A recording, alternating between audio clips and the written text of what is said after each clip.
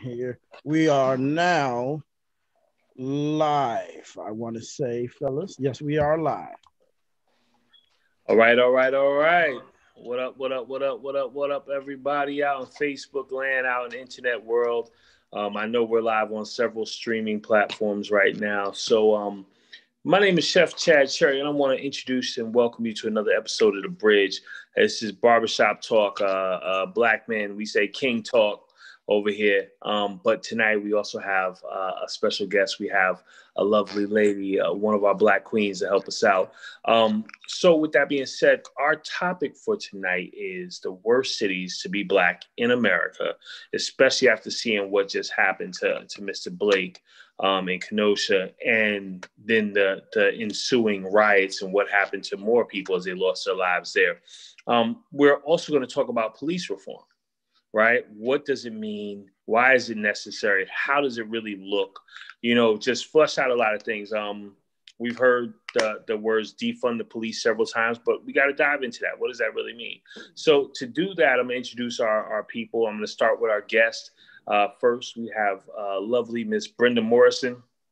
Shout out to her. She is the president of the Urban League uh, Young Professional Network in Fort Lauderdale, Florida. Known her for several years. She's an awesome, awesome, awesome lady. Very knowledgeable, very hardworking. Um, and then we have Mr. Aubrey. Aubrey, what's good? My brother, Aubrey Moultrie. He is um, previous in his previous life. He was uh, he worked in law enforcement um, in the in the Tri County in South Florida, Tri County area. I'm not going to shout out the thing. If he wants to shout out where, then I'll let him do that but he's here to offer that perspective because as always if we're going to have a conversation we should have the people who you know have experienced it and um, we have our regulars we got mr j who's our host right uh, mr james he's over there getting you right we have chef irie who is our, our resident wisdom he always gives us that sagely advice and we have mr moneywise himself rashad henderson who's in the building um, who's going to chop it up he's going to bring them random facts as always the stuff that we talk about, some of it is amazing, some of it is super intellectual, and some of it is just nonsense. It is totally up to you to decide. Do your own research, listen to us, work with us. This is the bridge.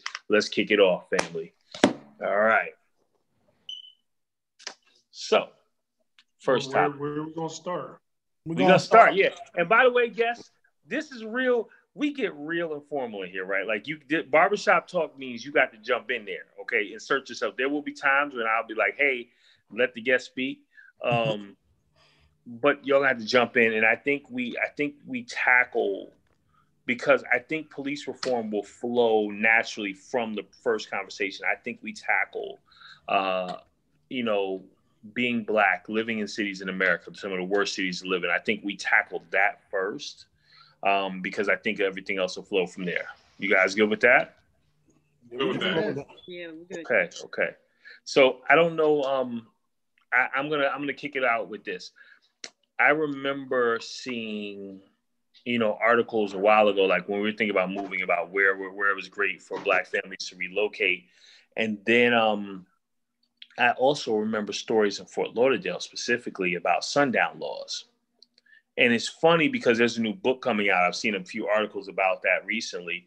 And um, if we don't know what sundown laws are, those are basically saying, hey, if you black, don't be here after dark, right? And those were common in thousands of cities across America. There are thousands of cities that were just pure white um, by design. And so, you know, in thinking about this, guys, um, and and and gals, my bad, you know, I'm getting right um, I guess the question is, and I, am I'm, I'm gonna start it out with a straight question, then y'all take it whatever direction I want to. I guess my question for for everybody here is this, right? I have seen places where I knew there were no black people and black people were moving in. Why? Why do we want? Should we even want to live in places where they don't want us? Should we? I mean, like, should we be building our own towns and cities? Like, where where are we at, guys? Like, and then we can start naming off some of these places. But I'm just starting out there with, yeah, they well, don't. I, why, we, why we going there? Well, I think that we should have the options to do both, and I think okay. that at the end of the day, that's what it is. I have been a proponent of saying everywhere there's white people, I want to be there, just to show them that we're everywhere that you are, and we can do exactly what you guys are doing and better. So, hmm. if it's something like, for example, I was the second black mounted officer to join the department, or second black officer to join the mounted squad on the department. I didn't know anything about riding horses. I didn't know nothing at all, but I knew that we needed somebody there as representation. Okay. So I think we should have the option. I think at the end of the day, that's what it is. We should be able to live where we want to live and not be harassed because we're there. So it's not our problem; it's their problem. That's, so that's a matter of matter of perspective. Yeah, that's the perspective there. That's a yeah. That's mean, that's that's like like yo, that's they that's they and they personal feeling, you know. I um me, I take it uh I take I take it from a stand of uh just look, we we we in it together. You know what I'm saying? Um it's it's it's the we got we got amendments specifically uh because of the, the that black folks have, have gone through. So, you know what I'm saying? Right, right I got the right to, to the pursuit of property, liberty, and happiness. No matter where else, where wherever I, I, want to pursue that, we should be able to pursue that. That's that's that's it. That's what it is. You know? Brenda, what do you feel? So I feel uh, I feel kind of like Aubrey's perspective, where I feel like you should have representation where a white person is. Um, it's not their land, it's not our land, it's everybody land. And I feel like we should be able to at least uh, see where what, what suits a family best fit in terms of making moves. If you're a black person, you should be able to do it. That's in a unicorn life of a world, but that ain't where we at right now. But you know, uh, universally, I feel like we should be able to go anywhere that we want to go. Anywhere where white people are, we should be able to go there as well. Facts. I mean, roll through with the hey neighbor and all of that, and not give a damn how they feel about it. Yeah. Um. Yeah. No. No. I mean, that's that's a fact. I mean, I guess the why I asked that question is just being more introspective now. It's because you know, Black America, we in a place now where we, yeah, we can, but we don't literally, literally, we don't have to right? We don't have to assimilate at all anymore, anywhere in any spaces. And a lot of times, you know, um, like you said, Brother Aubrey, it was about us taking power and making sure there was representation, right? Um, and I'm just wondering if we're not at a different shift, right? In, in in our in our societal path, in our cultural path, right? A shift that that where we're like, hey, look, you can either have representation or we can just go about our business and do our total own separate thing because we have the resources, the education, the dollars, the connections, right? we ain't got to do shit with y'all anymore that we don't really want to.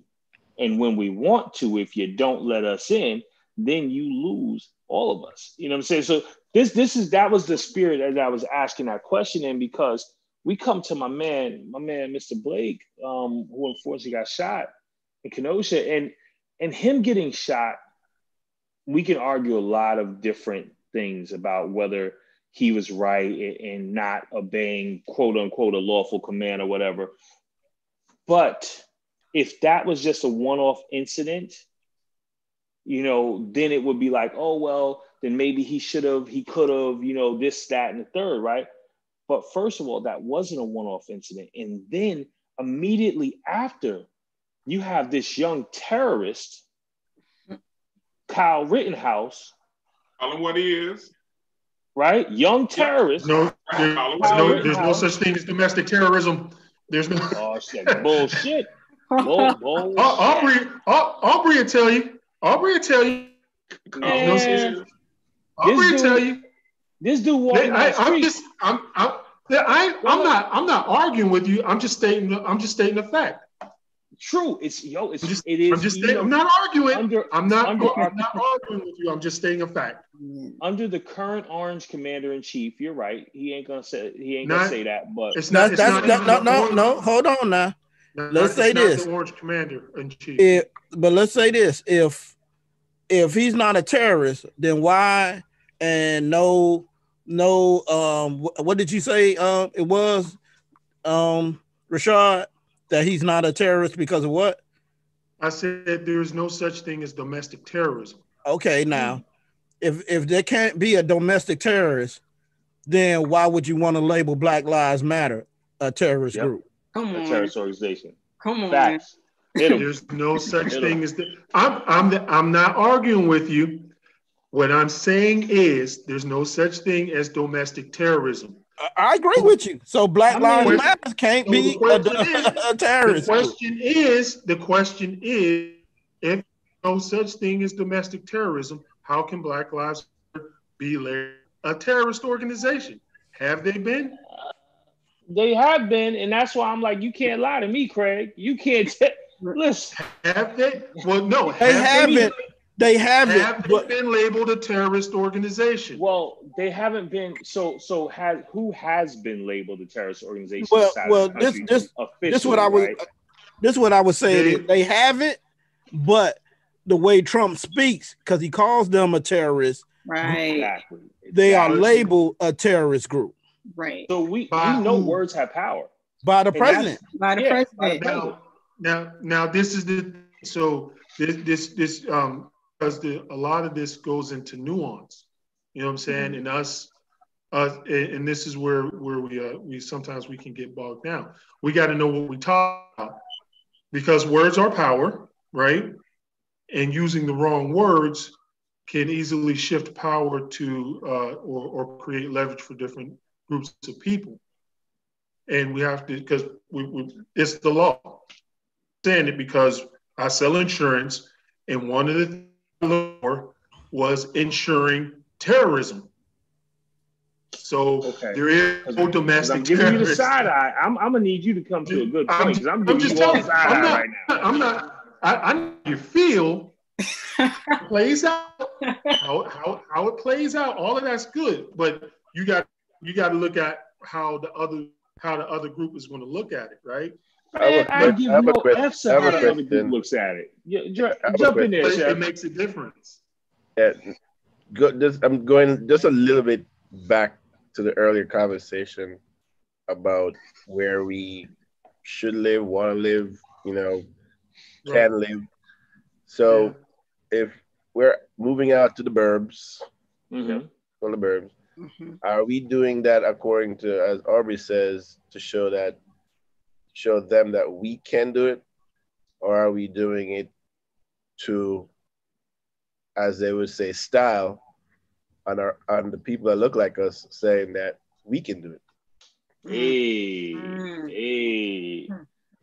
Because I mean, you know, you're not, you know, everybody like, yeah, you know, I'm out of, I'm, I'm at the burbs now, and everybody that you know seem like they moved to the burbs because they can seemingly forget where they came from, mm-hmm. and the burbs is now the place to be. And you're not like me, so I can't really affiliate with you now because I'm in the burbs.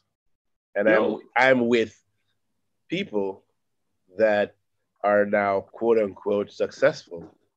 Mm. So are we doing it for them or are we just styling on our own people? Hmm. Yeah. Hmm. Create, create Good question. a sense of separation. And I think that that's what I, I, I was going to eventually come around to. But that simple that sense of separation, you know, not necessarily physically, but that could be detrimental the, the whole cause of, hey, if you don't do this, then you're going to us all. You see what I'm saying? Uh-huh. So that so it, you know we have to we have to be aware of what we're doing, how we're doing it, we're doing it. It's a, it's a lot more uh, you know, I mean, you know, I, I asked it because you know, and you know, every time we have, you know, for the guests that are on, um, we always seem to have a conversation that references, you know, maybe six shows ago, you know, because there's always a common a commonality and a thread that that is you know, you know, through all for every Zoom that we have, and you know, the whole thing about um, Damn, what was I about to say? oh, you was on the roll, Harry. You had us all on the edge of the seat. Yo. oh, I was listening. There's a common thread in, in, all of our conversations. We're gonna sum it up. There we go. but it's, it's, it's, that is great. I guess that's called it uh, um, you know, one of those fart moments. These, you know, moments. But yeah, it it, it, it, it just you know it does seem like a pertinent question. Um, mm-hmm. You know, pertinent question to ask. No, it is it is a pertinent question because even going back to the original topic, y'all, I think while we may disagree on on the whys and if we should or could or all of that stuff, um, Detron, Mr. Peoples, yes, sir. Um, I, I want to. I, I, think. I think it's this, right? Um, we could literally list some of the worst places in America to live, but it's almost a moot point because I've traveled this country in every state. I grew up in the North, I live in the South. In almost every state I've been to, there's always been those places where you get those early warnings like, hey, look, you might not want to slide over there too tough if your skin color ain't light. Yeah, you know, right. and um up, raise up, raise up out of here. Raise up, yeah, yeah. And you know, and the thing is, so then it makes that question of the worst places for black people to live, like um, it makes it a very interesting question. Like I'm out in Central Florida right now, and literally I'm I'm East Orlando, and the town next door, they was already like, well, listen, right, when you come out of here, just turn right. Don't even turn left. Don't stop at the grocery stores over there. Don't go. No, I'm serious. I, I'm dead. My white neighbor, whose husband is a police officer, next door with a, with a dog named Draco. So look, right? They, are not coming for Draco. I said, "Oh, ain't this some shit?" I said, "Why do I get this neighbor? Right? ain't this some shit?" Um, she told me, "Yeah, yeah, that, that ain't really that ain't really what's popping if you if you black." Let, let my, I want to hear Audrey's point of view. Which, how, you, how, you feel, how, how, you feel, how you feel about that, Audrey? about what? The, well, listen. Uh, here's, here's the thing. Um, I went to college in Orlando. Turn left. I went. I went to University of Central Florida. So, oh, you went the UCF? I'm over yes, there Columbia. You know what? Yeah. Okay. So you know what I'm talking. And, and I and I used to live in Clermont. okay be, before there was any black people out there. mm. And literally, and, and again, this because we talked about this. Um, I was living in Clermont, um, Barack Obama's first term. I had the only Barack Obama sign in my yard. Everyone else in the development was white Republicans. So oh, yeah, them Trump signs fly heavy over here. Listen, I, I, tell people all the time, don't confuse Miami with the rest of Florida. No because the rest of Florida is as Republican and as racist as you can possibly get. Facts. Listen, we in the deep, deep, Florida. deep South. We, we. Yeah, that's true. I don't even think the people in in in in in North Florida consider themselves to be in the South. You know, you know, they just figure they're just in another part of the country. I don't think they see that mm-hmm. the South. They don't operate like they're in the South. Oh, oh no, no, no, no. Hold on, hold on, hold on, hold on. they believe that's no, no, no. not not from not from the from a historical or racial or they just operate like this is not the South. This is just a whole territory unto itself. We do whatever we want to do down here. Yes, the, the a lot of things that happen here are very reflective of what oh. happens in the South as we know yeah. it but I don't think the people meant in, in, in from a mental perspective consider themselves Southerners. You know, well, not not so like, much in Florida. Maybe I don't we know. don't want to tear down these Confederate statues. No, no, I, that that's I, our history. I'm, I'm gonna take this because I think when you go to those certain cities, like uh, my mom lives in Clewiston, Florida, uh, which mm-hmm. is right outside of Belle Glade, Naples, and Sebring. Mm-hmm. And let me mm-hmm. tell you right now, those are they're very racist in Sebring, Clewiston, and this is only an hour and a half outside of Miami. And the right. same thing, mm-hmm. you know, there's a city in Miami called Christmas, Florida, which is yep. probably about yes 25 minutes outside of Orlando. Yep. Again, very racist and mm-hmm. very blatant with it. Mm-hmm. You know, and they consider themselves Southerners. I think it's only when you get to the Fort Lauderdale area where you question whether or not you're in the South. But I think anything north of Fort Lauderdale, it's blatant. Let's be honest. Even in West Palm Beach, Fort and Lauderdale? Boca. Listen, South Florida is Latin America. Okay, it is not even the Correct. United States. Caribbean, Caribbean, And- Caribbean, Latin America. We, you know what I'm saying? We got some Car- Caribbean. Caribbean Latin, Caribbean Irie, Latin. like, don't do that. I don't do Irie like that. Don't do No, man. Give Yo, Irie it his is. respect. Yo, in the words of our esteemed leader, it is what it is. Well, I, I, I still want to address what Irie was saying though about Hey, go ahead, get it, Jay. because uh, I just came back this weekend, Mhm. and the Confederate flag was flying nice and high, And high.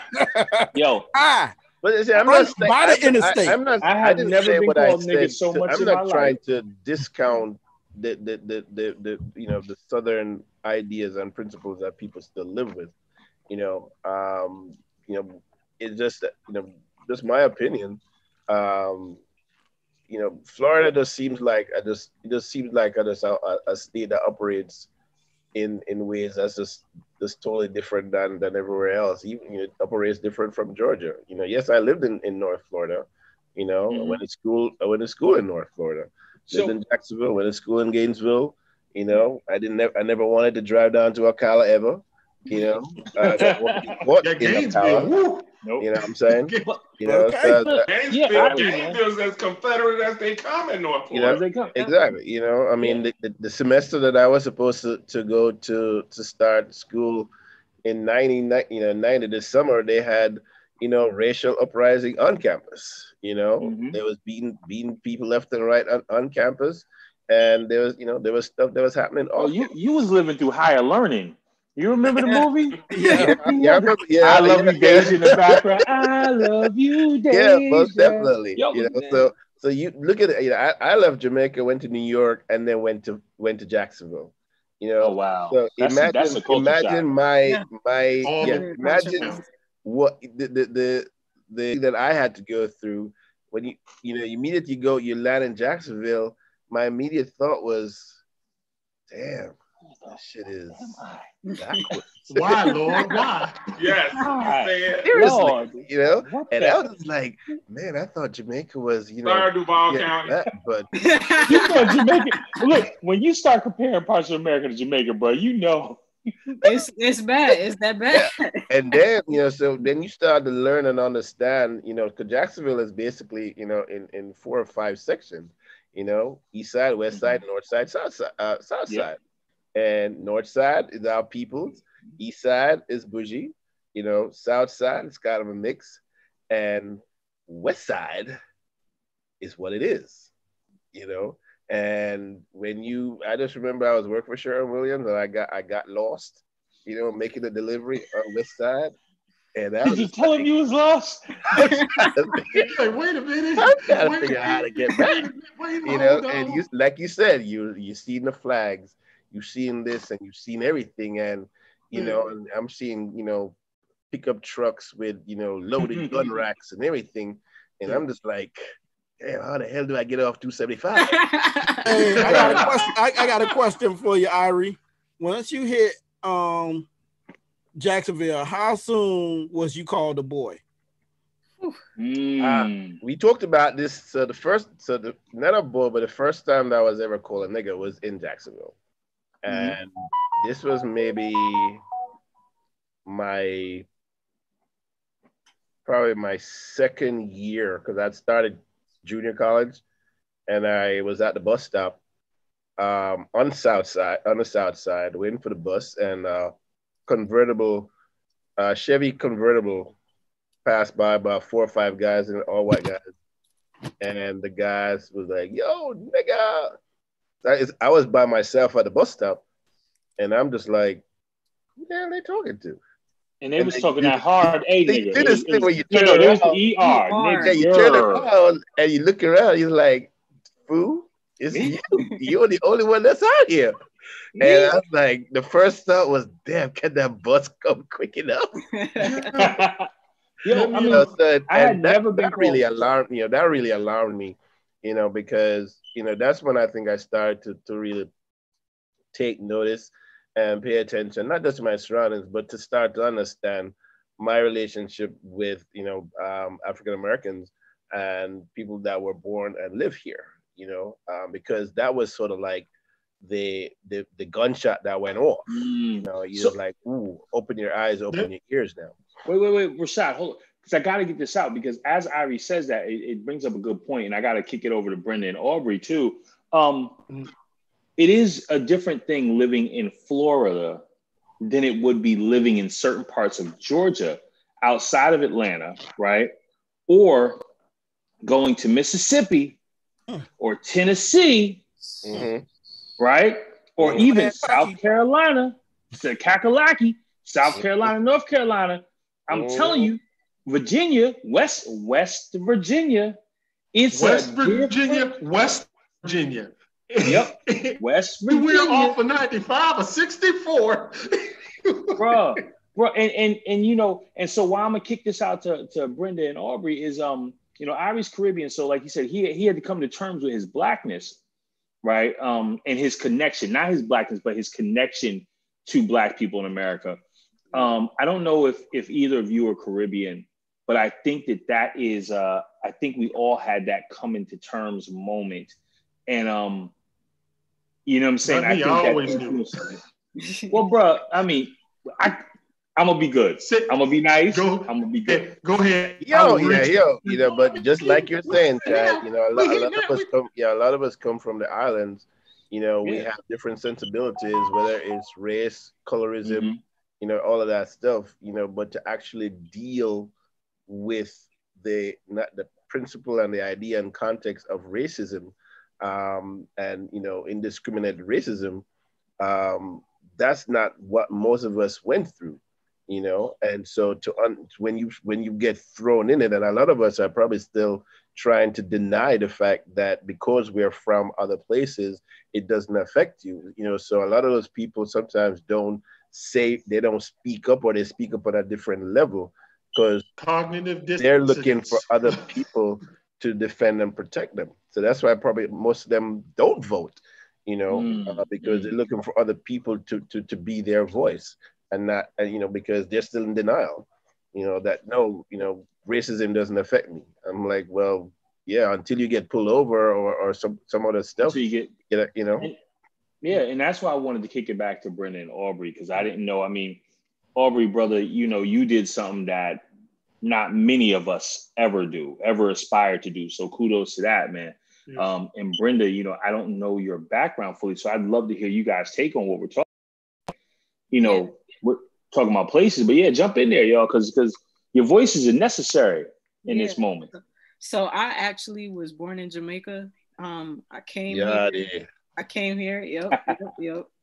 Um, I came here 2001. Um, I have an older brother, um, and so um, from when I was in Jamaica, the thing that I experienced or I noticed, I don't think I have heavily experienced it, but I def- definitely noticed it um, was the colorism.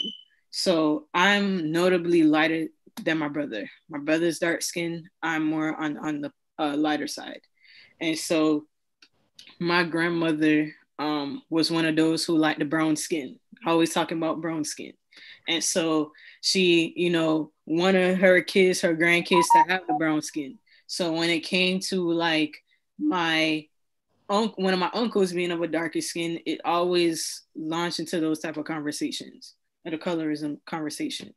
Um, that's what I remember uh, heavily from when I was in Jamaica. When I came here, um, when I noticed it the first time is when like one of my brothers had his friends come over to our house and they didn't know at the time like I was just peeking through and just listening in but like one of his friends like act, literally acts like, "Yo, is your sister adopted?" Because I look that much different in terms of the skin color than my brother. Um, Damn. yeah, that was wild.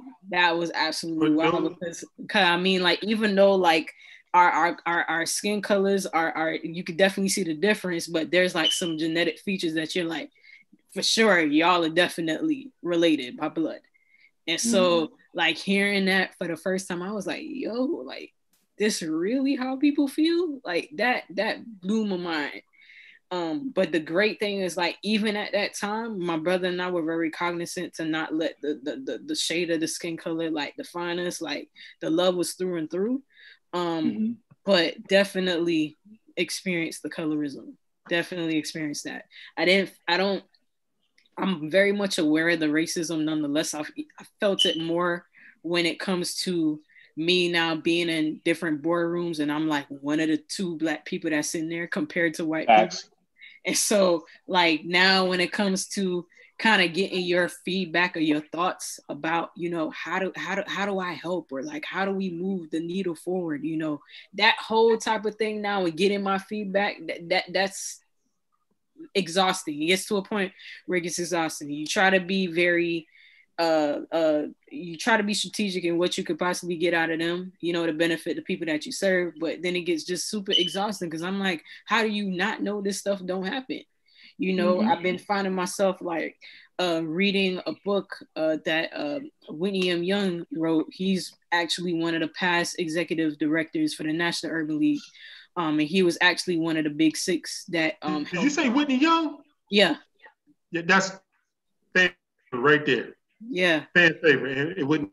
Yes. Yeah. Yes. You know yeah. about. It. He put on. He was one of the big six who put on a march on Washington, and um, before he passed away in '71, um, he put he put out two books. One book was called Beyond Racism, and the other one was called To Be Equal. And so I've been reading the, the the Beyond Racism one, and it's wild to me. Like some of the same experiences that he's detailing in the book is some of the same experiences that today is considered brave to talk in like uh, uh, corporate America spaces. When it's like, yo, we've been dealing with this for so long. And so- that's why I was asking the question: like, does do we have to even like everywhere we go, we're dealing with this, anywhere in the country. Because even if we go to a progressive city, quote unquote, yeah. right? Yeah. Even if it's progressive, you're still dealing with what you said, like in the boardrooms, right? Yeah. When you get to this top of your career field, in any career, we're still dealing with it. So where is it actually good for Black people to be in America? Is, is you know, so that's why I was asking that question earlier, and I don't. I want to give Aubrey a chance to respond as well. I mean, but you know, the thing is like, dude, you know, like this shit is it's frustrating. It's wild. Yeah. Well, um, frustrating is an understatement. Um, like I said, I went to University of Central Florida. Um, it wasn't uncommon to be in a classroom of 300 people and there be two blacks. Um, you know, I I brought one of the um, only minority um, clubs to the to the school because there wasn't any when I was there. Um, and like I said, I am of the mindset that if we're not there, I'm not going to complain about us not being there until I put in the effort to get us there. And that's the mindset that I operate from. But it doesn't take away the frustrations.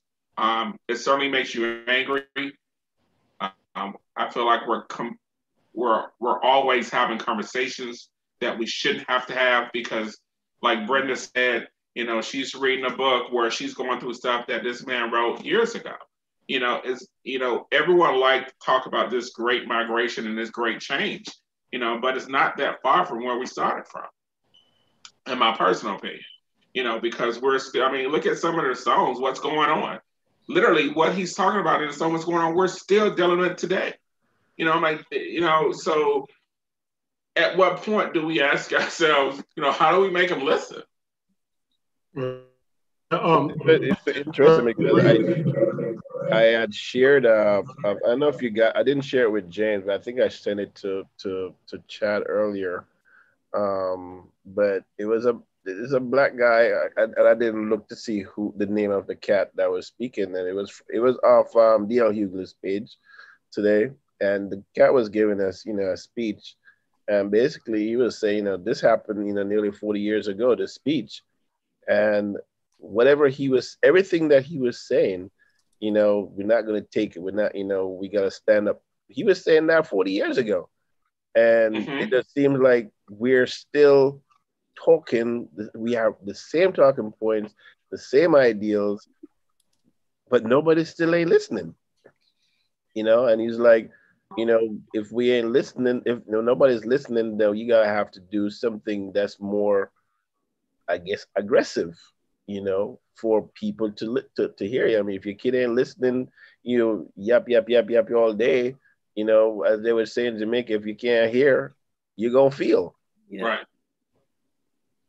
And I think, I, I, I, go ahead, Brenda. Oh, go, go ahead, Rob. No, I'm good. Y'all can go ahead. No.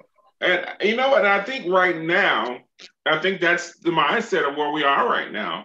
Um, you know, we have mixed opinions on looting um, when it comes down to the movement, you know, but I'm a firm believer that burn it down, burn it down to the ground.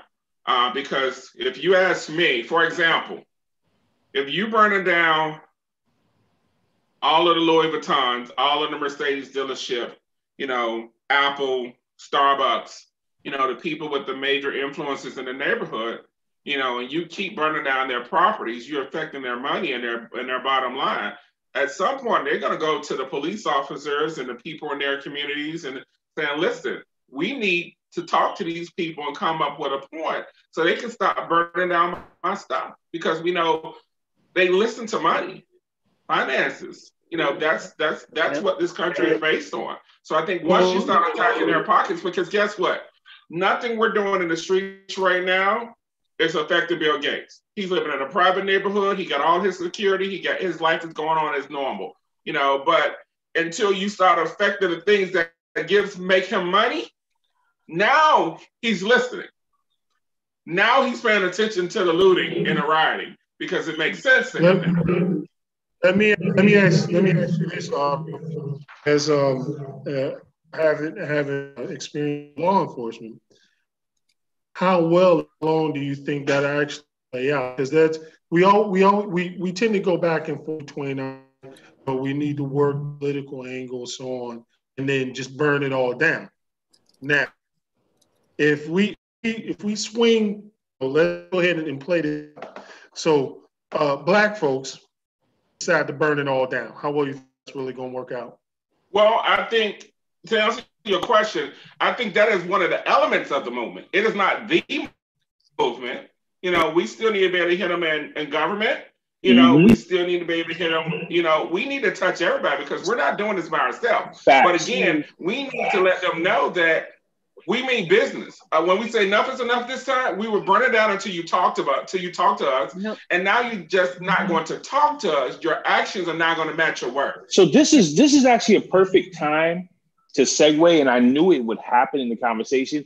And I know we didn't really get to listing all of the the best places or the worst places for Black people to live, so we may have to touch on that again later on in the conversation.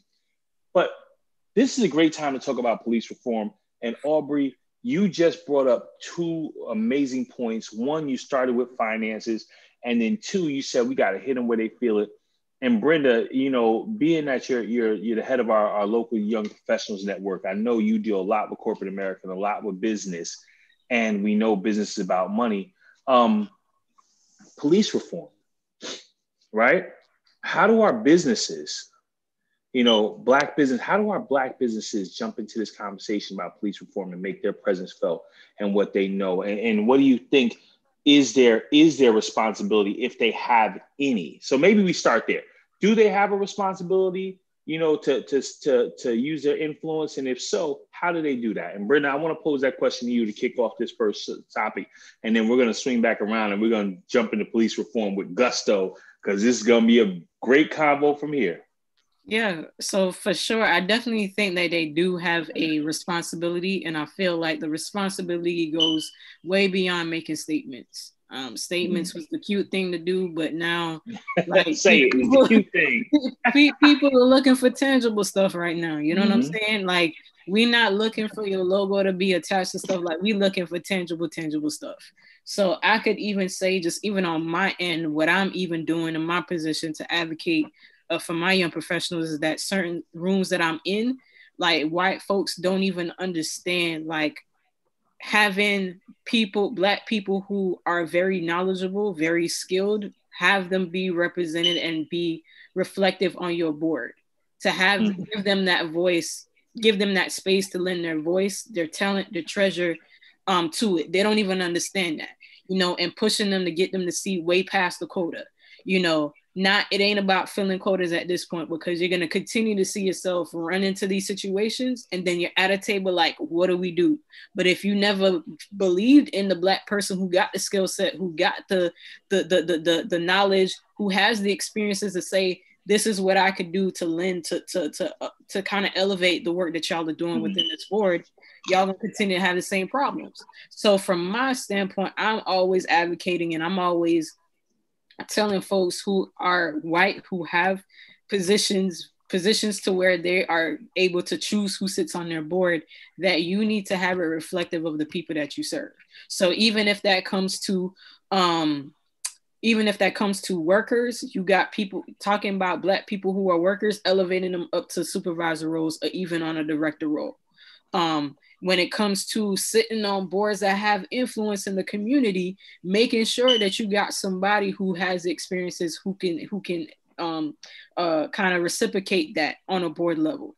Um, and, and, elevating young professionals who have the skill sets. Because even some of our folks, they don't even understand the reason of why they need to be on boards. They like, okay, okay what you telling me why I need to be on a board? I mean, you know, does, does that get me this place? That is, they don't even understand it.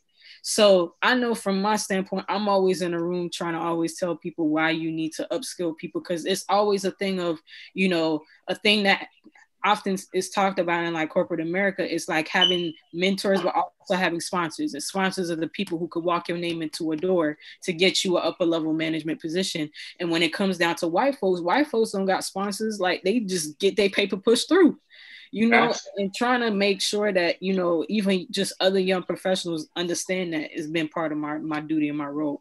And then I just quickly even want to just touch on um, the um, police reform thing as well is that um, one thing that I could even talk about with with talking with like even like the local uh, NAACP president um, is pushing to advocate for um, uh, boards, review boards, but to push them to have subpoena power um, to make sure that they they have the will and the power to not not only just review stuff and, and give their feedback on a case, but actually subpoena people um, to even get involved in, in saying was this right was this officer acting in the right way? Was he not um, giving them a leverage of power? Not only just giving just uh, those investigatory um, um, boards outside of the people to be able to just have the power. And I think that's a unique tool that I think we should definitely look into. And last thing I just yeah. want to say, and I feel like we're going to touch on it again at some point, but uh, we got to talk about police unions and the power and, and the legal standing that they have. It's, it's, it's, it's, that, too much, too much. I'm glad you said that's what I was thinking when I was talking about our community. Yeah, no, no, way These too are much. Good, though. You, union, unions nah. help common people. Police unions, though. Police unions are a little. They're a little ridiculous, dude. Really ridiculous. Hold on, hold on, hold on. aren't unions the, unions? No, no, no, no, no, nah. no, no. Nah, I say I say it like this. I say it like this. Like I get from a historical standpoint what unions were there for. It was it was, it was a way to show workers how they could organize. But right is right and wrong is wrong. It ain't the union's thing to go sit here and go protect wrong because you advocating for your worker. Right is right, wrong is wrong. That's what that's that's where I'm at. And, that's, and, and also, yeah, uh, um, I'm also um, what people don't most people don't hear about unions are black folks weren't included in those whole union rights deal from from the from the outset. That that was a very late uh, a very process, and actually um, Whitney Young mm-hmm. and uh, Martin Luther they, they they actually talked a lot talked a lot about that. Is we all we always catch we uh, at black folks we tend to catch the left from yep. from the because, yes. But see, I, I can tell you, I, I can tell you, even though that black people are now included, especially as a police officer in these unions, I can tell you that even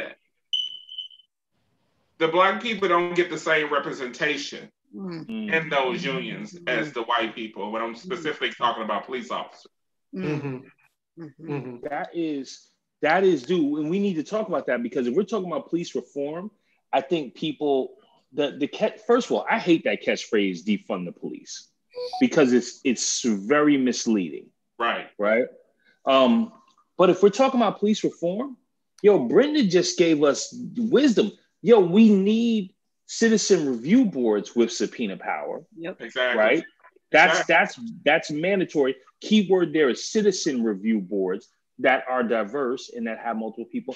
Yep. And we need to like flat out uh, police unions need to be dismantled. They need to be thought over again. They need to be dismantled and thought over again. Um, you just know, and it, just seeing it even within the Broward, the Broward sheriff's race.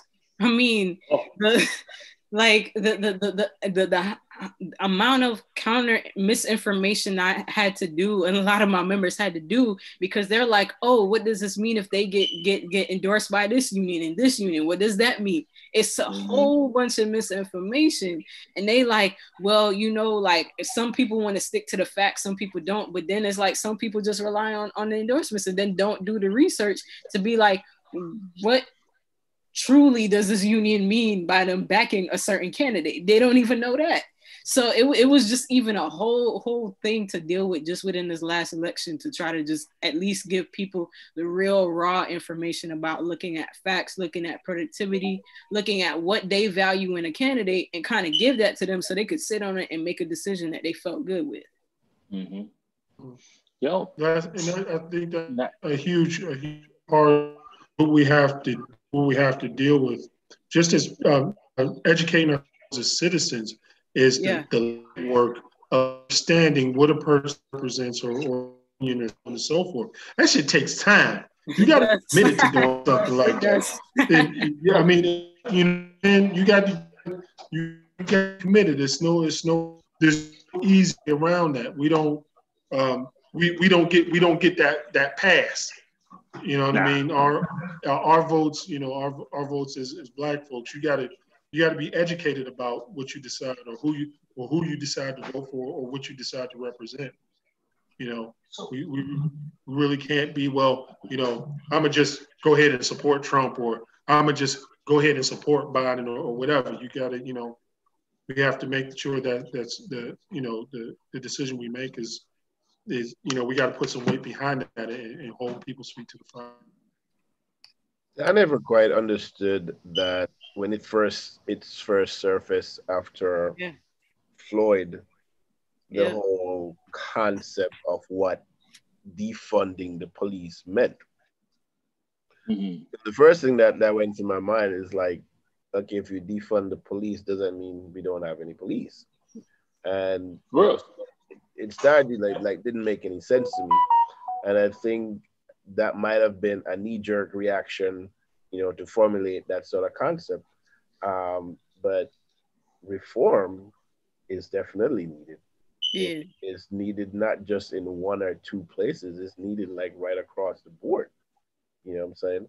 You know, and I think, you know, if we're going, you know, when you look at everything that is done and the things that are being covered up by police unions, uh, you have to wonder now, well, who is going to be the people in charge of formulating s- such and said reform?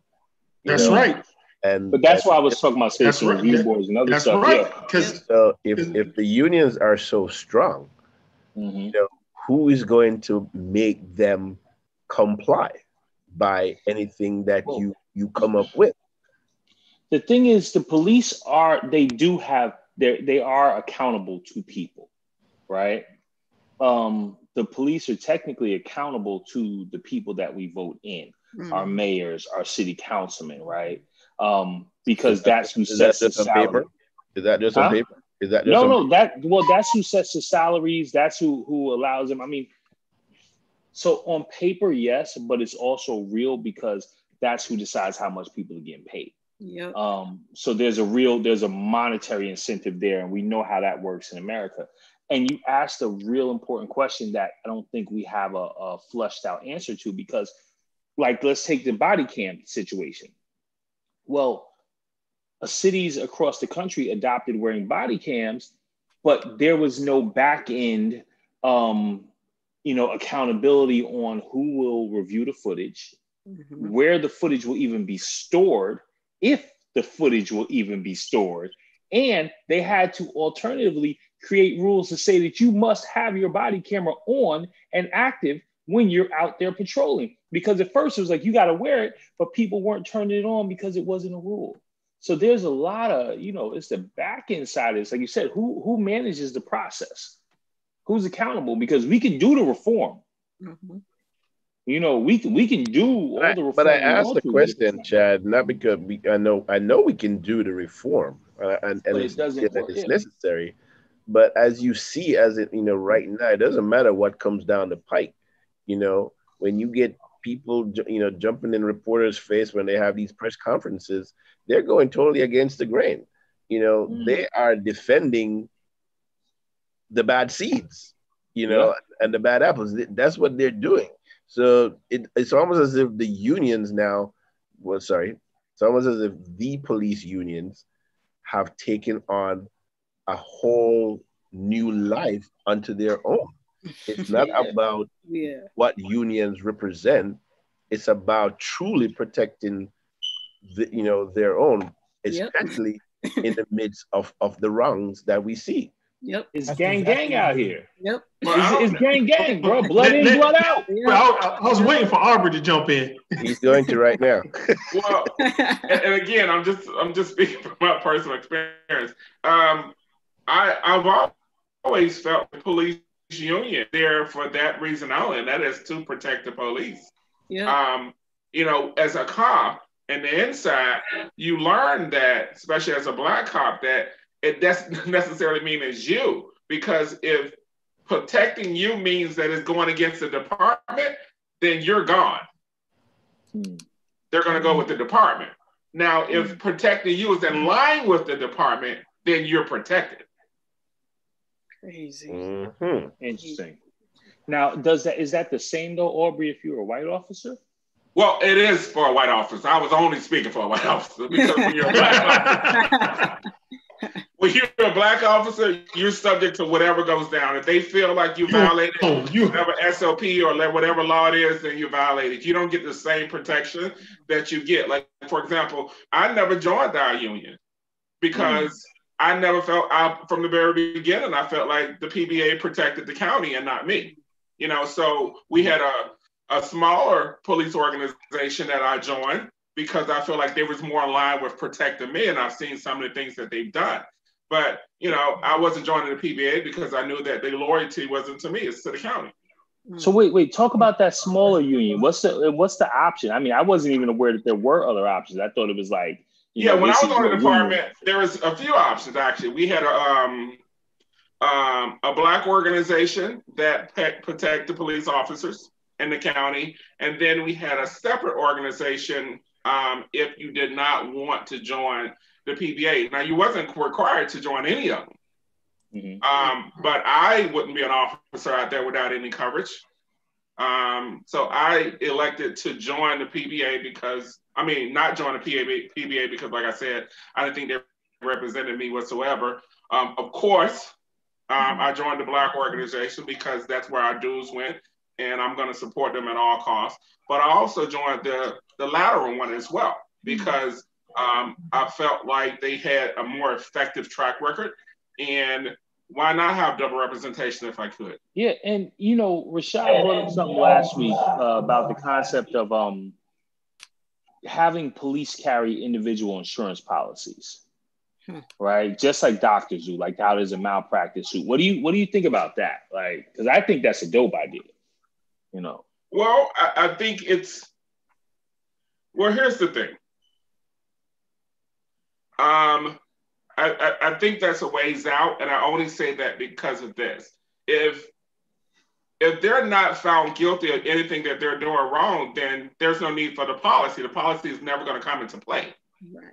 So first we have to start there. They have to be found guilty, and we have to send a message. And it's not even about sending a message. It's just doing what's right and following the law. Mm-hmm. Follow the law across the board, and we wouldn't have any of the issues that we have now. And that's where we don't need an insurance policy if we just held people accountable for their actions across the board. True. So in um, an ideal So uh, world, I agree you- with you. So the cops using the justification for Blake was it Jason? Was his name Jason Blake? Jacob believe Blake. so. Jacob. Yeah. So Jacob. the, the the the people representing the officers are saying that because he had a weapon, supposedly, allegedly, um, that after they've tased and they they're following him around the car, and obviously to us, he doesn't pose a threat. But their justification, they say, for shooting him is that at some point earlier, it was brought that he had a weapon. So this makes it all well and dandy now, as would just saying at Jamaica, for Lego 79 back. well, listen, this is what I've heard, and again, um, there, I, as an officer, I've seen several things that sh- shouldn't have never happened. Um, if I was made aware from the very beginning that you had a weapon, then I'm not following you. You're stationary until I know you don't have a weapon. You don't get to walk away. I'm not going to hold on to your t-shirt and follow you to your truck where allegedly your weapon is. They he should have been stopped long before that. Long before that. And one, if he has a weapon and you feel like your life is in danger, you haven't even seen the weapon. So there is no justify you there is no justification for shooting a man in the back, period. Because you're not being threatened. If he had a gun, he was pointing at you, you didn't even see the gun. If he if you saw the butt of the gun, Mhm. from his angle, he couldn't have seen any of that. But So- it all boils down to this. If you that scared of black people, then don't be a cop. Don't be a cop. But Don't see, the, justi- the You know, if, you, justification. if you're that afraid of people, don't be a cop. If you don't have any type of person skill, in a, interpersonal skill, don't be a cop. Agreed. I- there were several situations that I've been in much worse than what he'd been in. And I, I didn't shoot anybody, and I certainly didn't shoot anybody in the back. Eh, But that's but see the justification is, is there is no while there is no justification. What's Thank you. happening is is there is a there is a climate right, and this is why the the title of this podcast was the worst cities in America for Black people to live because there is this climate right. There's a climate that allows this man to get shot in the back, and in the same same 24 hour period allows a, a, a young white terrorist to come across lines with a semi-automatic rifle and the police hand him water Hmm. right it's Right. a climate that says in certain in certain areas of america that says that if you're white no you're just doing the right thing you're law-abiding citizen even when you are obviously are doing questionable stuff Right. There's Right. always an excuse for white people, and we don't There's have always the luxury of those excuses. Right. They always get the benefit of the doubt. And I've We- seen that across the board from corporate America. I've been in corporate America for almost 20 years. From every facet of corporate America I've been in, the white people always get the benefit of the doubt. When it comes down to the black person, regardless if it's the same scenario, I'm finding that they always start at 10 and work their way down. When it's a white person, they start at one and go up. you know white is right that's why that's why we asked that question though right where where do we live um, because if Au- he, if he was in and go ahead Rashad. I'm sorry, uh, Aubrey, in your, your situations that you've had to na- navigate the DA, uh, was it back of your mind that in a, being a black law enforcement officer, if anything happens, it can go way differently for you than one of your white counterparts? Okay, you're breaking up, but so let me paraphrase if I heard you correctly. You're saying in the situations that I was in, was it in the back of my mind that it would go down differently if I was it was a white counterpart? Yeah, you were, you were question. white. Like if something went wrong, like if something went wrong, was you did you have it in the back of your mind? You know, they're not going to give me the leverage that they one of these white police officers. Oh, absolutely, absolutely. And I would and I would say that you don't ever stop being black, and that's just the reality. I don't care what facet of career you're working in, you don't stop being black. And we had this standard joke and on the department is don't be a training video.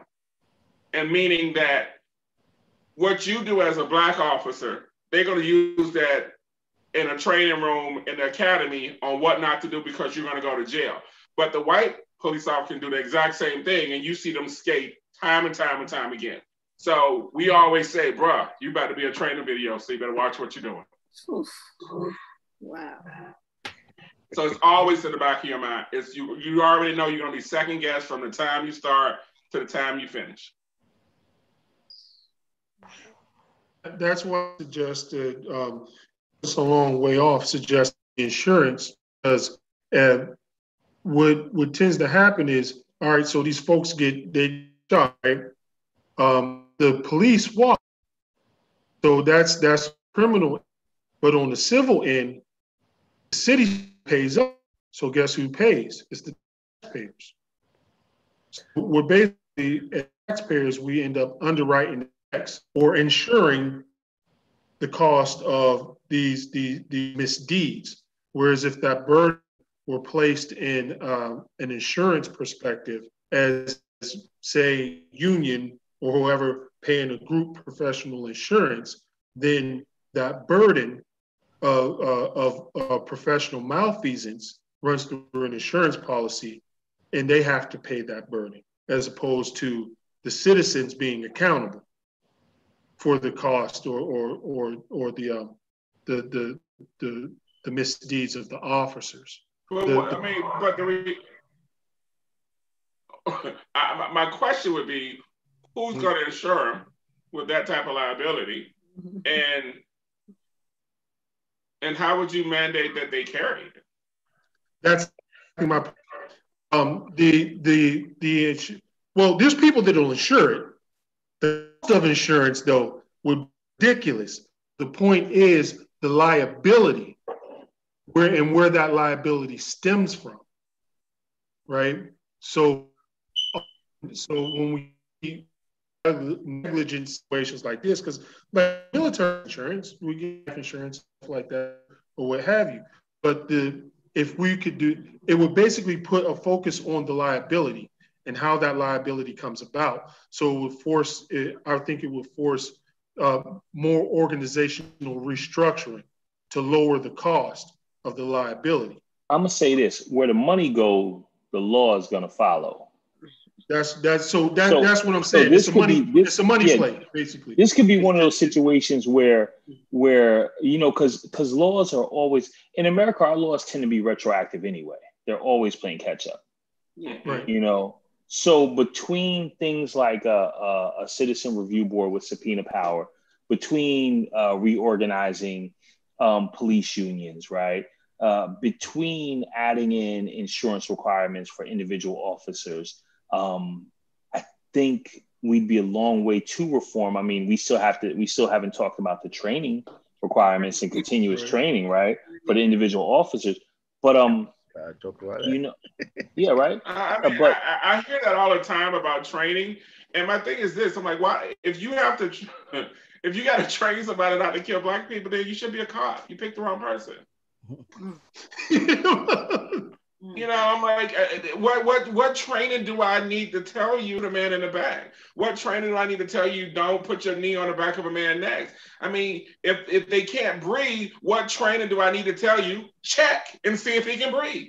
I mean, there's no that's common sense. And if and if it's not common sense, then you shouldn't hire that person. So it's not about mm. training. It's about picking people qualified to do the job. And I can tell you right now, even when I was on the department, I felt like most of the officers that was coming through were just people who wanted to have a badge. They didn't believe in law enforcement. Um, they wanted the power and the prestige that came with it. And in my opinion, a lot of them should have never made it out of the academy. We was literally in the academy saying, we already know in three years he's going to be in internal affairs. We was in the academy saying that this person is not going to make it. We already know where he's going to be. So when you hear somebody, when we was heard someone say, well, you know, Raf was involved in so and so, he's at internal affairs. Like, man, we saw this in the academy. I don't know how they, you know, no one else picked it up when they was going through his records, but this is not new to us. It didn't show up on his psychology profile. I'm, like, I'm like, it's not new to us. I'm like, we saw this, and if we saw it, then how you tell me the training advisor in the academy didn't see it? Yeah. I just, just as long as they were.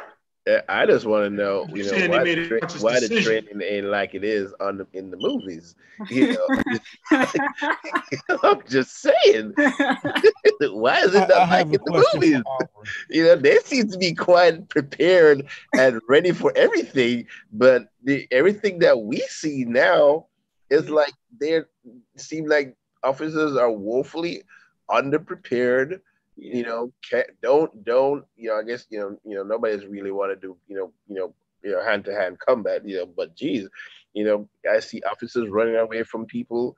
You know, um, you know, and and and everything, and you're like, but you the one with the gun. You know, you know, and and and you you when you see they're doing stops for for white folks and stuff like that, and white folks are acting crazy, and they manage to not get, you know, as uh, as as as our esteemed leader said, they they um, what did he say today? Yesterday?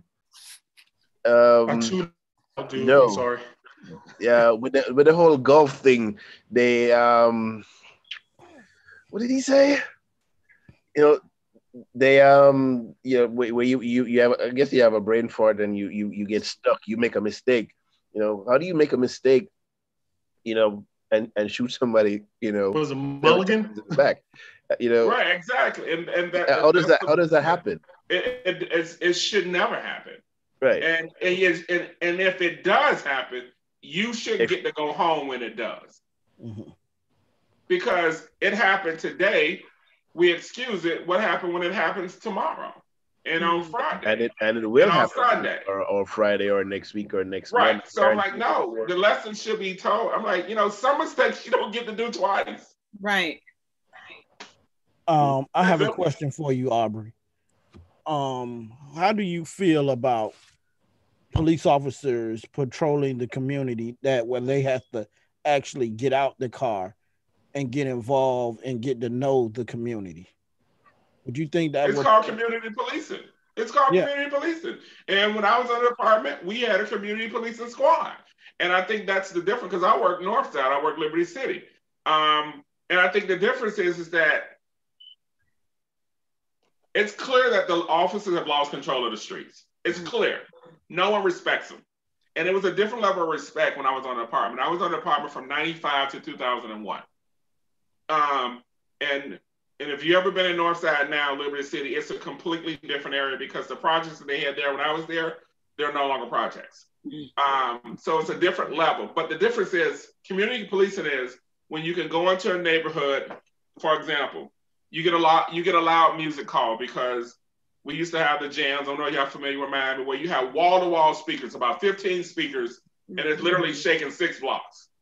Okay. Mm-hmm. And someone in the neighborhood will call the police because they don't have no permits, and we knew that when we got there. But everybody's out there having a good time. Okay. As a police officer, it's your job to go shut it down because they don't have the permit and you receive a number of complaints. This is where community policing come in. I, as an officer, can go up in there with 75 to 150 people outside having a good time, walk up to the DJ, tell the DJ, look, bro, we got several complaints. You got a permit? No, I don't have a permit. Okay, listen, this is what I'm gonna do. I'm gonna give you an opportunity. I'm gonna let you get five more songs, and then we gotta shut it down. Mm-hmm. I'm gonna wait here until you shut it down and pack it up. I say, so let the people know we're gonna close it down, but we're gonna ride out five more times. And I said, the last song, you gotta give me a shout out. That's the That's difference. What's That's, That's the what's up. between someone who rolls up in there with three other cops and get up there and start telling you need to shut this down, just being disrespectful, cursing, you know, calling them out in the names. Black people are only going to take so much, yeah. especially in the city. You're not going to talk to me any kind of way. So now that plain simple, hey, we're going to need you to shut this down. You don't have a permit you coming in and being disrespectful. Now the crowd on turned against you. Now you calling for backup. Now the whole department, the whole city is running to your rescue because you walked in because you have a badge and you think that badge is going to protect you. The badge only it don't mean anything if they don't respect it. Respect it. That's it. And people don't respect people who are disrespectful. Mm. Exactly. Exactly. Now, my my okay. Now, with that being said, what do you think? And this, I know this only your opinion. Police officers can do to earn that respect back in the community. Let's go. Well, I think you have to start back with community. Well, I think community policing should have never left the community. Mm-hmm. Um, and it starts with literally being in the community. You're gonna have to get a squad together um, that you trust, um, that has the interpersonal skills, um, that has the life skills, that represents the community in which you're taking them into. Okay, who live probably lived in that community, and then you start with that squad and you have them being a notable force that they see out there. People need someone to call. When they don't want to call the police, but they need to call the police, they're gonna call community police because I know Officer Rogers. Officer Rogers went to school with my mama. Mm. Okay, Officer Rogers was hanging down the street with my grandmother. So I'm gonna call Officer Rogers and let him know, listen, man, Officer Kemp was over here yesterday. He was disrespectful. Let me tell you what he did. So now Officer Rogers' responsibility is like, hey man, Sarge, I'm telling you what's going on with Kemp. You know, this is what's a word on the street. You know, somebody need to pay a little more attention to. It. But you have to start with that one squad who's going to be out there, who's going to be the face. And then once you get that squad out there, you bring people onto that squad, and then eventually you're going to have several squads out there. That's how you get the community back behind them. It makes sense. It makes a lot of sense. Yeah, yeah just being being being part of the as opposed to coming from the outside in. You know what I'm saying? Right. And, you know, they, they, they like to paint us as out as being disrespectful and hard to talk to and difficult to work with. No, we just want to be treated with respect. Mm-hmm. If you mm-hmm. treat people with respect, they show you respect. And the moment you lose that, it's all downhill. You know, I'm the most respectful person you can find, but when you disrespect me, you get a whole different side. Mm-hmm. It's just that simple. You know, I meet you where I meet you.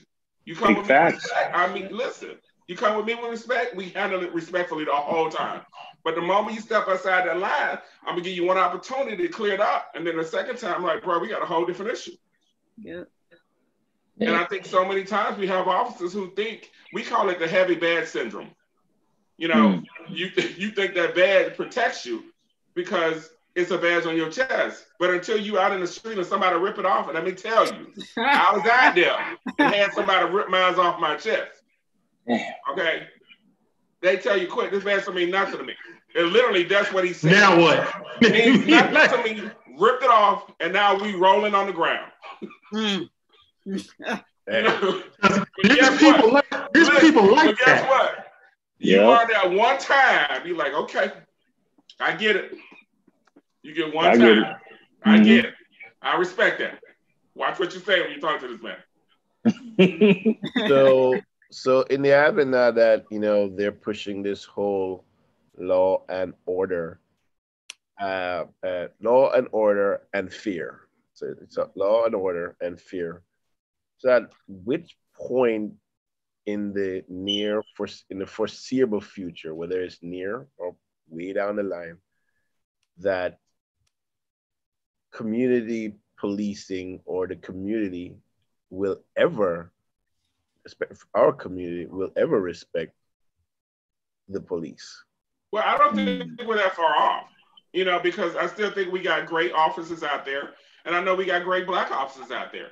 And mm-hmm. you know, I come from a law enforcement family. You know, my brother's just retired, did 27 years. You know, um, you know, my sister-in-law, you know, I got cousins. You know, we come from a law enforcement family. So, and I got tons and tons of friends who still on the department, you know, over 25 years later. There are still great officers out there who still has a rapport with the community. You know, we just need to put more of them out there. And I'm not telling you that all of them need to look like us. Um, they just need to have the same mindset mm-hmm. and understand the community in which you patrol and you serve.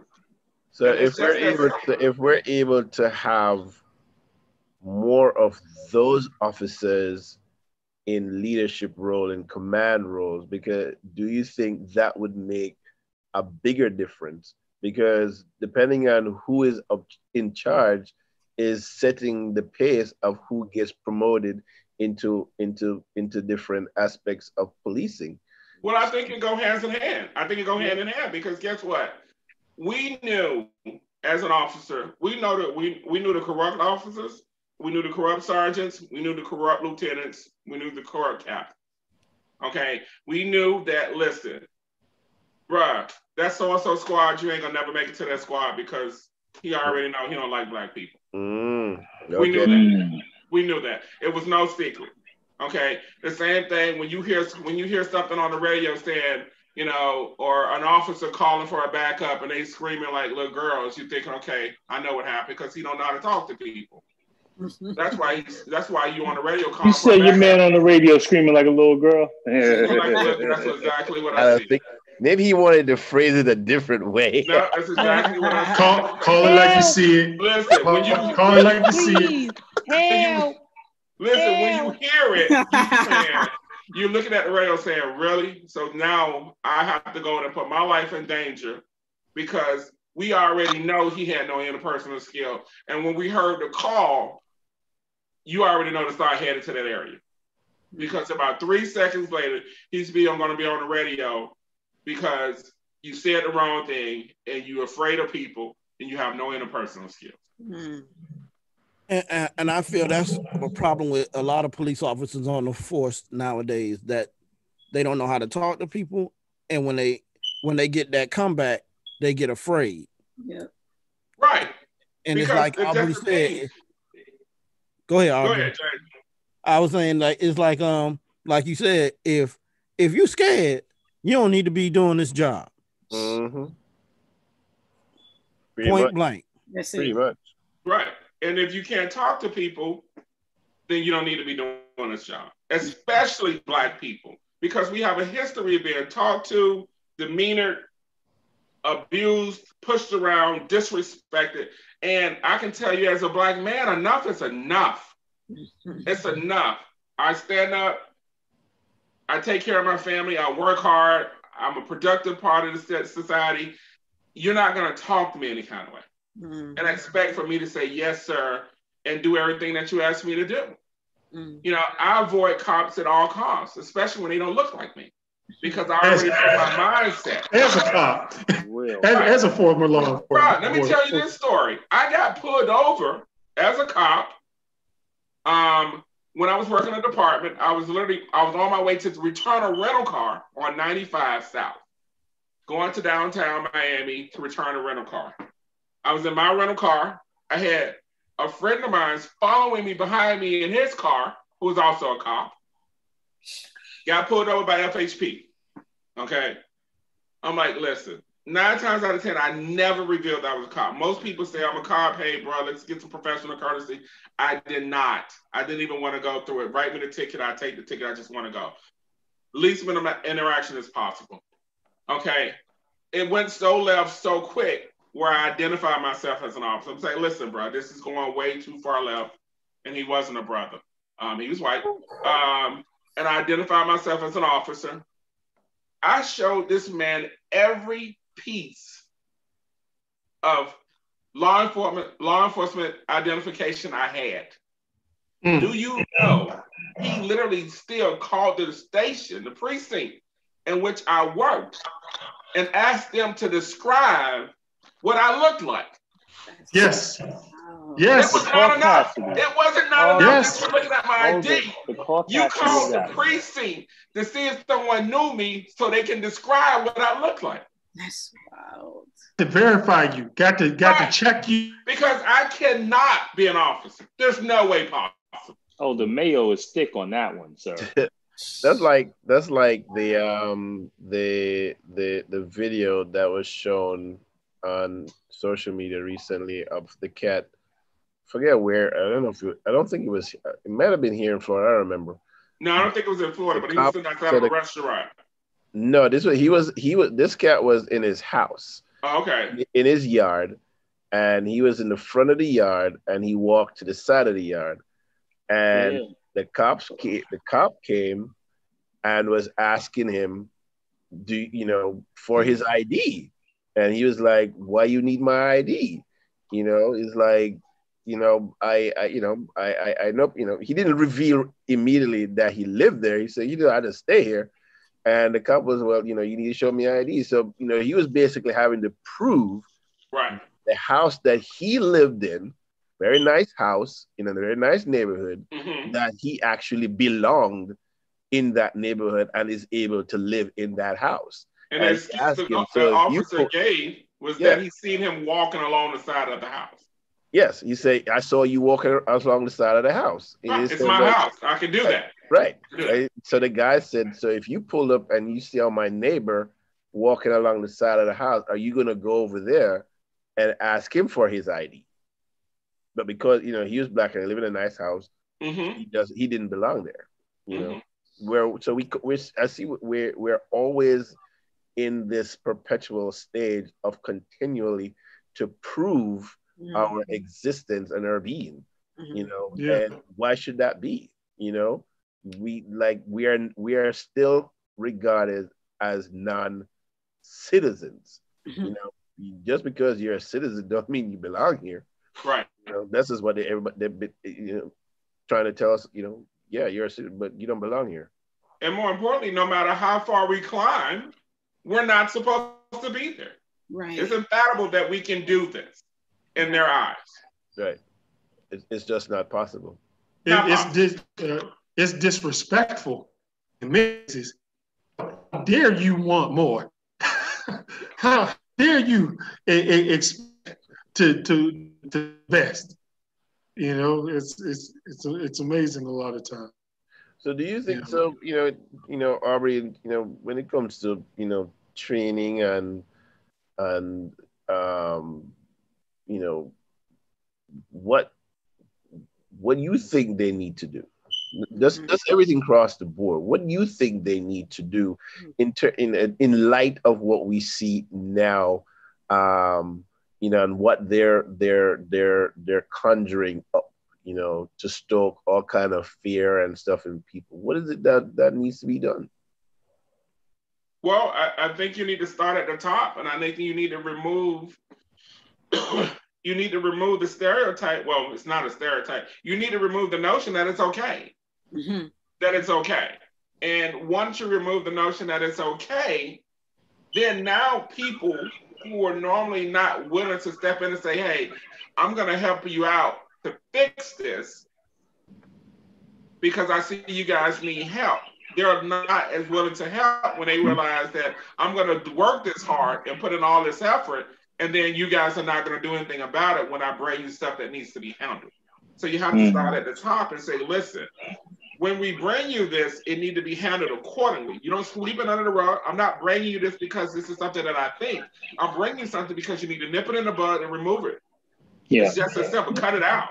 So until we do that, you know, we have a long way to go. And the and the and the mindset is there's a situation. I'll tell you a quick story. Um, I ultimately left the department because I felt that I did not have any representation. Um, I was involved in a situation where a use of force complaint was sustained against me, an excessive use of force. Um, me and my partner went to a call, and I'm gonna make the story short so I can go back to my point. Um, me and my partner went to a call. The call went out as a emergency call where the son was beating up the wife and the mother and punching holes in the wall. I get there, me and my partner, who's a Hispanic male, uh, we was in academy together. Um, I get there with me and my partner.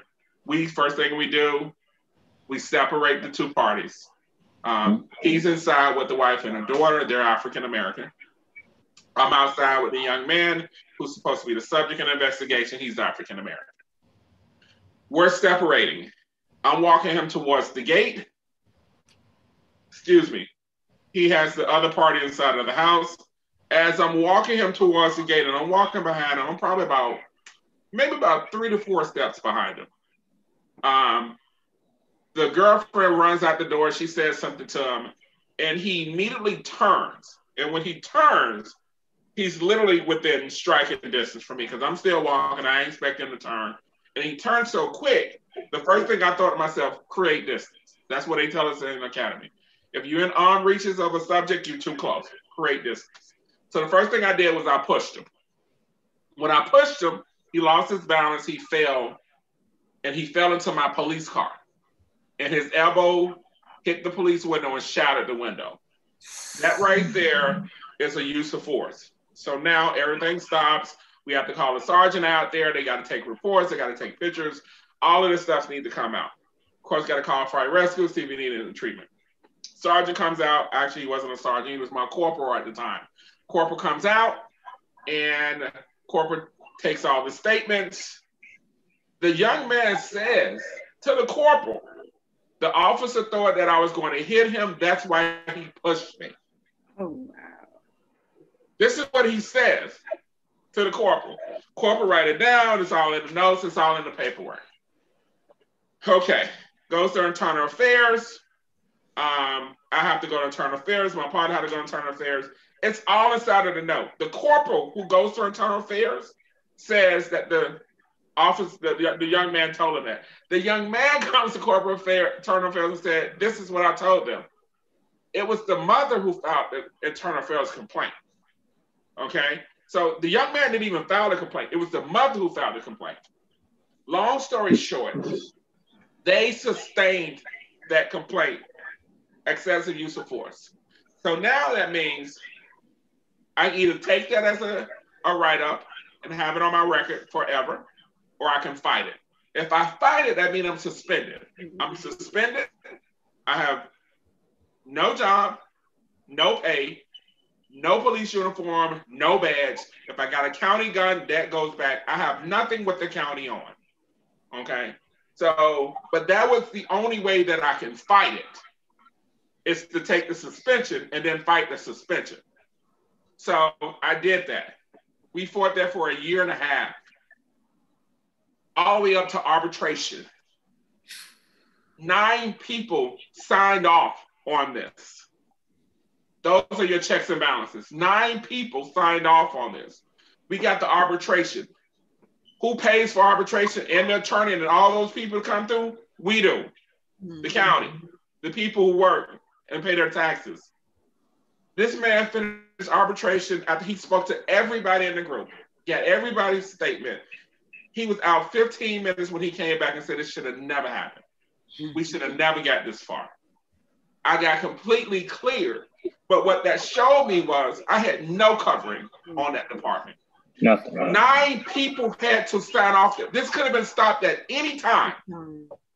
It wasn't. And then I realized that why would I risk my life for a department? It's one thing to have to watch your back on the streets. It's another yeah. thing to have to watch your back in the department that you're fighting for. Hmm. And that wasn't worthy to do it anymore. That's crazy, bro. Wow. Wow. That's that's a lot, man. You're right. You're right. It's like you can't fight two battles. You know right. what I'm saying? Like, so, so to go back to the question is, it has to start at the top. The checks and balances need to be just that. They need to be checked, and they need to be balanced. If it's bull, throw it out. And we need somebody there who's just not signing reports and passing them on to the next person. Mm. You know, it, it, has to. Everyone has to. You need to people people there who are not afraid to be accountable people who are not just waiting out their time on the department so they can go to retirement and get their drop money. You know, you need people who are going to work the eight hours that they're there to work mm-hmm. and work efficiently and lawfully and accurately. If so not, everything else down is not going to work. So I have a uh, just a quick statement. I, I, feel, I feel that back to your your whole respect and disrespect, and I think if as a people, we were made to feel that we were or are being respected, especially when it comes to policing. I think you would have more cooperation from residents and citizens in mm-hmm. communities to be able to make those communities better and safer. But because we don't get that respect, I think most people are to the point where, well, we don't care. You know, um, we are going to try to exist, you know, the way we exist now. And, you know, deal with whatever comes in the, you know, the crime and, and all that good stuff, you know. But I, think, well, I, I, don't know. I don't, I wouldn't say that we don't care because I think everyone want to live in a safe environment. Everyone yeah. want their properties to go up. You know, everyone. But I think they've been beating down so much where they're numb, and we need to let them know it's okay to feel again. Because not only is it okay to feel, we need you to feel so that we can make these things right. Mm-hmm. Yeah, yeah, yeah. Yo, you you were dropping, brother. You you gave us knowledge. I mean, that's why I think everybody was so quiet because we just listening gross. Um, but we are coming to that stage in the program where we get these topics where there's so much to cover, right? Um, but we only have a set amount of time, and we're we're in our last ten minutes. So we've got to actually wrap up. And during this time, we give everybody a chance to review and give last thoughts. Um, to kind of you know say something you didn't say or just repeat something you think everybody needs to hear. These are our best soundbite moments. Um, so what we're going to do is we will come back and we will do a part two because unpacking this, this is deep, and y'all are yo like, I mean, thank you so much to you and to Brenda. Like so much knowledge and just good passion has been shared tonight. But we got to wrap it up. So we are going to start the wrap up. I won't start it with the guest. right? I won't put y'all on the spot to start. We'll start to wrap up with our with our regulars that are here, um, and then we will come back to you. We'll we'll finish on you guys. Is that fair, guesses? Yeah, that's cool. Okay, so uh, between Rashad and Irie, who's taking the first leg of the wrap up? Oh, I'm gonna beat them to the punch. I'm gonna do it first. Oh, let's go. what? The pin That's a first. That's a real first. Yeah, well, you know, I'm gonna be short and sweet. um, I like to, to thank the guests for coming on this week. Uh, they they gave us some some some some positive ideas, dropped some knowledge, and we need to work um together to like how how they were saying to form these committees to start the reform for the police department. We need we need the um the the police in the communities we need to, to establish these boards and and just get it together. And then, and once we do that, I feel the community will be a whole lot safer. Cause and then maybe we can get us an officer friendly again. Mm-hmm. That's all I have to say. Officer Peter J friendly. all right, fellas, don't be shy. We know neither one of y'all got that trait. Yes, Rashad. Rashad. no, no, um, it's it's it's just it's been it's been a conversation. My my thing is say saying uh, what everybody else has been saying, just working working uh, more within the community. It, it comes down to respect. You know, a, culture of respect when folks like they can respect you. You know, not because they feel some type of way, but because it's been enforced. I mean, let's let's be real, man. We live in America. This this place is built on racism. It's built on hate. It's built on people coming from being hated to go hate somebody else. You know what I mean? Until we change that that concept and dynamic, we're gonna have these issues. You know, that's that's all it is. Okay, so, I have so, what, You're done? Yeah, wait, I'm wait, surprised. I'm surprised. You know what it is? Yeah, I'm, I'm, I'm, I'm done. I mean, ain't, I ain't got anything else to say about that. That you is, know what it is. What it is. You... I'm gonna add one more thing to what I had to say. Um, the badge does not get you respect. So if you believe that the badge gets you respect, no, your actions and your deeds, that's where the respect comes from. Exactly. For real, for real. For real. Rashad, bro, listen, man, you having Teddy Riley moments tonight, man. So the next week. okay, I thought, I, thought it, I thought it was just me, man. I'm like, okay. that's what it. That's what it is. yeah, yeah. You still having Teddy Riley moments right now. I Just for next week, I need you to be because you know I appreciate what you say. Your words are valued, and this has been the briefest that you've ever been. It's okay though well, I, I, there, there's not much left to be said, so I don't have to say much. Uh, heard that. heard that. Shoot, what I gotta say, I don't know. well, you know, over the years, you know, being here in this country, you know, I've been stopped many times, and there's some of those times, you know, I could things could have gone differently for me in terms of, you know, you know, being incarcerated for riding dirty, you know, blah blah, you know, no insurance, suspended license, you know, unknowingly, or you know, you find you, you're trying to, you know, I didn't, you act a fool, whatever. But thankfully for me, the people who stopped me, and almost all every time that I was stopped, it was ne- it was never a black a black officer, and for the times that you know they could have made the choice uh, to say, you know what, we're gonna incarcerate, you know, you know, impound you, write you a whole bunch of tickets, send you to jail, you know, let you work it out on your own. They didn't do that. They made a different choice. Uh, so I'm thankful for that. Uh, you know, I feel for the people who go through scenarios and situations where that's not the case. You know, whether it's just as simple as, you know, being incarcerated and unfortunate for people who have lost their lives, you know, but I think, you know, this thing that we're seeing now, um, barring just what happening in, in unions and the behavior of cops, and you know just all across all across the board is being exacerbated by the rhetoric that's coming directly from the top mm. you know and that is what like you said need you know that's the, one of the biggest things that needs to change you know how does as you say words have power words got mm. meaning you know and if you know the words that are coming from the top have the power but have no meaning. You know, it does seem as if we're gonna be caught on this freaking this loop. This loop, yeah. That we're gonna be on this loop continuously, you know, because we're always gonna be asking for change. We're looking for people who are supposed to provide help provide that change, and half shit, three quarters of them people, you know, don't want to make those the change happen. You know, so we, you know, 40 years ago we were saying one thing. 40 years today we're still saying the same thing. And if none of that happens 40 years from now, we're gonna be still saying the same thing. You know, and that that can't happen, you know. Um, it, it, it just it just shouldn't and it just can't.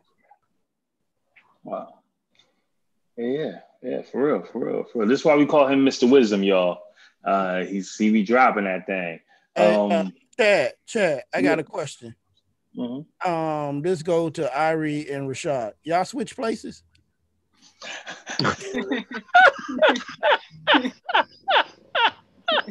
Listen, this week we are we are not a monolith. Yeah. we are not a monolith. Okay. we had a meeting. Uh, we had our own meeting. That's right. That's right. Irie. We had our own meeting. All right, y'all. Listen, y'all just keeping us on our toes. I get it. You know what I'm saying? Keeping us fresh, making sure we paying attention. That's fine. That's fine. We are. Um, yeah. So, so, uh, uh, family for our guest. Um, I think it's right if we let our queen close it out. So, Aubrey, man, I'm, I'm a, I'm gonna call you up to the podium next. I'm gonna ask you to step on up to the congregation, so okay. and uh, well, bless us. Well, first, I want to say it was certainly a pleasure being with you, Kings and Queens, tonight. Um, I thoroughly enjoyed it. I think that this needs to happen more often. Um, but more importantly, I want to say that um, police reform is absolutely necessary. Uh, police reform isn't about great officers because we know there are tons of them out there. It's about the bad seeds. And, uh, and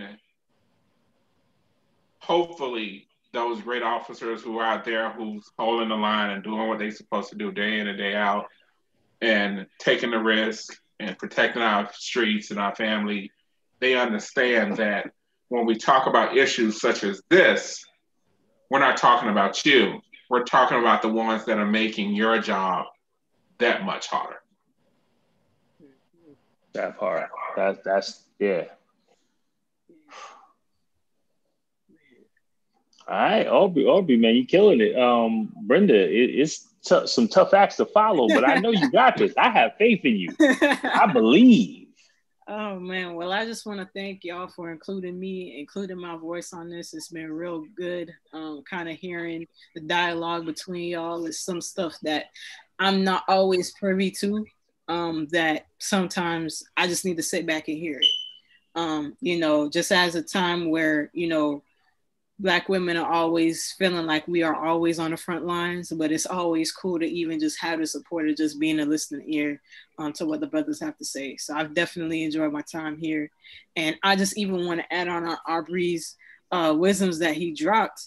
Um, one of the things I, I also want to see be changed, in addition to even starting at the top, is also uh, stopping the practice of um, retaliatory acts for those g- good cops that want to speak out.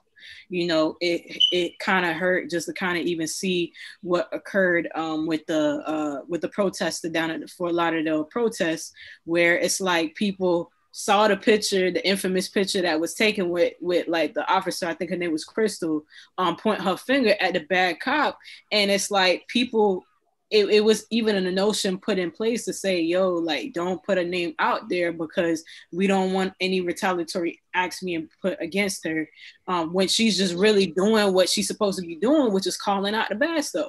And so I think that's definitely a, a needed thing in, in addition to also kind of calling out what's being done at the top.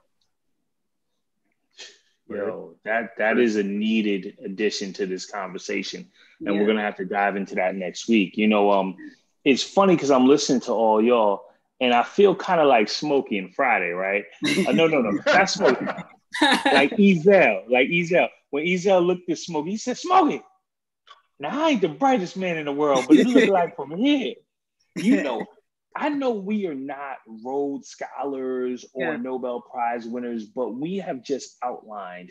And when I say we, I'm talking about everybody in this group. We've outlined some real concrete steps, right? Like if we had to give a report and deliverables and say, hey, this is the minimum things that you could do for police reform and for community reform, I think we really had some real concrete stuff come out of this conversation. And it made me think of my role as a professional and the fact that I'm always trying to be better, right?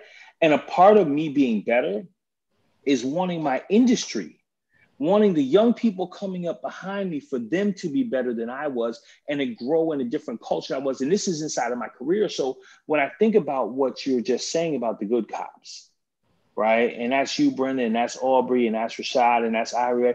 When I when I think about them, I think that change has to come from within, right? If you're a good cop, I don't have to say, oh, this doesn't include you when we're talking about reform because you know what you do.